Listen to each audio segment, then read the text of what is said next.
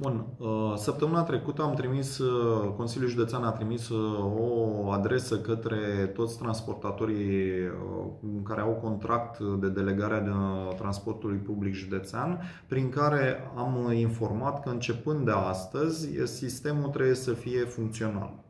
Uh, toți au deja echipamentele, aceste validatoare uh, pe mașini, trebuie doar să le dea drumul. Uh, după cum vedeți, la acest moment astăzi sunt destul de puțini care funcționează cu echipamentele, iar începând de astăzi vom începe controlele pe, cu tematica sistemul de monitorizare.